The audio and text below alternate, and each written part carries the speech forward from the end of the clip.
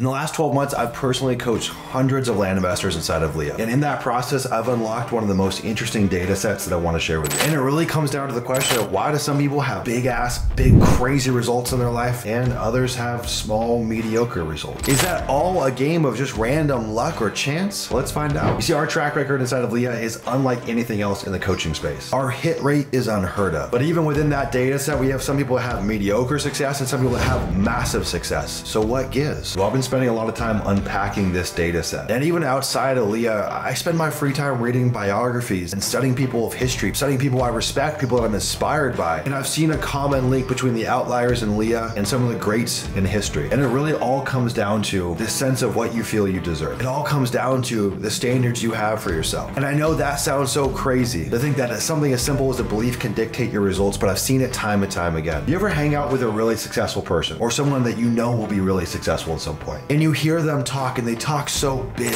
They talk so big it almost makes you uncomfortable. It makes your small little worldview kind of crouch in like this and it makes you feel vulnerable. It makes you feel like, what's wrong with me? I know, I know I felt that way. And look, there's a difference between a talker, but when you know someone's a doer and they have big aspirations, you feel, you know what I'm talking about. And it's the same thing inside LIA. Some people come in and they have this worldview, this belief that I only can do one deal a month or I must do only $10,000 deal. And if you got some people that come in and say, look at MF, I'm doing seven figures this year, come hell or high water, because that's what I deserve. And it's totally different to have a goal versus having an emotion of what you actually feel you deserve. You can set goals all day long, but if you don't feel internally that that's what you deserve, you're never gonna get it. And so what we're talking about here is the feeling. We're talking about what you actually believe you deserve. And so I want you to ask yourself right now, what do you deserve? If you get really honest, you get clear with yourself. Are you playing small? Be real with me. Are you playing small? Could you raise the barometer of what you feel like you deserve? I think the answer for all of us on some level is a yes. And I want to share a really interesting story. Part of this was kind of the catalyst for me. We've got a gentleman named Adam who joined LIA probably about less than two months ago. And his first two deals were six figure deals. The first one was a package deal, was a, a bundle of multiple properties, probably make him 200 to 300 grand on that deal alone. Second deal is one he's working on right now. It's a monster 350 acre property buying for 200 grand, probably worth 370 to 400 as a flip or if he wants to subdivide it, it's probably going to be a 500 to 600,000 dollar deal. The dude's two deals in. He's two months into land. He's got no business doing deals like that. On paper, everyone would say, no, no, no, that doesn't make sense. But what does Adam think he believes? But what does Adam think he deserves? The deals he's doing is a reflection of what he thinks he deserves. You see, I went through a transition in my business last year where I said, I'm going to start doing big value add deals. And the funny thing is, I didn't even have to change that much about my business. I initially had to change what I thought I deserved. I had to change what I thought I was capable of because I had all these limiting beliefs that I'm just some Joe Schmo. I don't know anything about land development. I don't know anything about developing real estate. Why would anyone ever work with me? Why would developers work with me? Why would the county work with me? I'm just some Joe Schmo. And I had that belief for my entire land career. So of course those deals never came across my desk. Or if they did, I never was able to recognize them. And that's what's so crazy about limiting beliefs is when you got them, you've got blinders on. You couldn't even see a million dollar opportunity if it hit you in the face. So I don't care where you're at in your journey. You could be 10 years in, you could be 10 days in. I want you to ask yourself, get a gut check. What do you actually believe you deserve? And if you feel like you're playing small, ask yourself, is that serving you? Right? Look, the world's not fair, I agree. But we get to set the tone. We get to set the standard of what we think we deserve. No one else can force that on you. No one else can change that for you. That's up to you. That's a God given right. And I think there's a huge misconception between humility and thinking small. Humility is a godly trait. Thinking small is a disrespect to the creator, to the universe, to the God, whatever you want to call it. It's a disrespect for the infinite gifts that you've been given, for the infinite potentiality that's stored within you. That's a disrespect to play it small. I mean, think about it like this you're a Homo sapien. Think about all the ancestors that had to come before us to even get us to this point. All the ones that didn't make it because they weren't strong enough. You are the remnants of the strongest. If I put your feet to the fire and push came to shove, I know you'd figure it out because you've got that X factor and you've got that Homo sapien can do anything. I don't know how else to describe it. I think a lot of us in this modern day and age, we've forgotten that. We have lost sight of that inner power. We're so busy watching Netflix, scrolling TikTok, and getting Uber Eats to our house that we forget how capable we really are. And that's why I think it's important to put our feet to the fire deliberately so we remind ourselves of the strength that we do have. And when you see that strength, you recognize, oh, I can do more.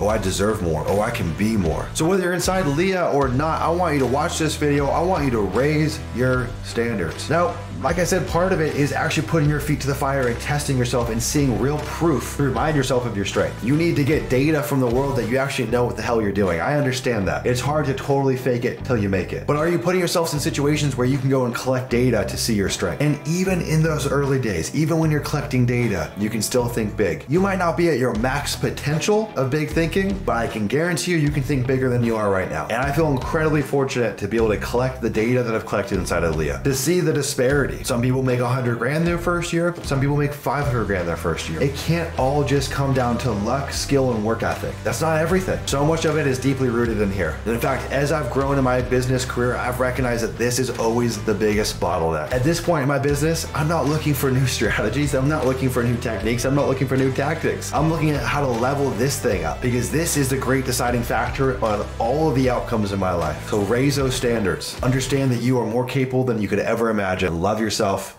Have a great rest of your day. Take care.